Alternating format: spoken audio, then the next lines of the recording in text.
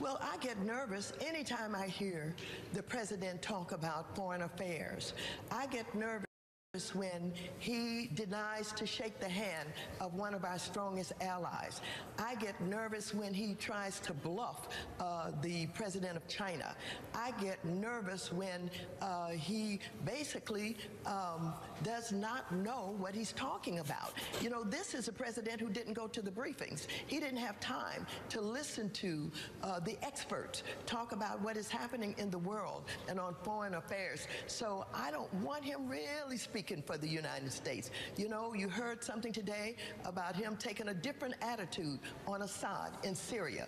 Well, what is that? Is that American policy? Did he make it up on the spot? Does he know what he's talking about? No, he doesn't.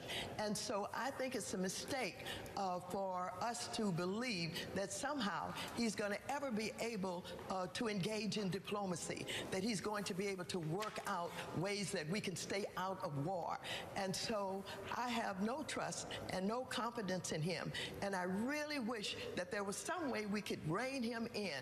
I wish that our foreign affairs experts could somehow get his ear and at least tell him to shut up, to just stop it.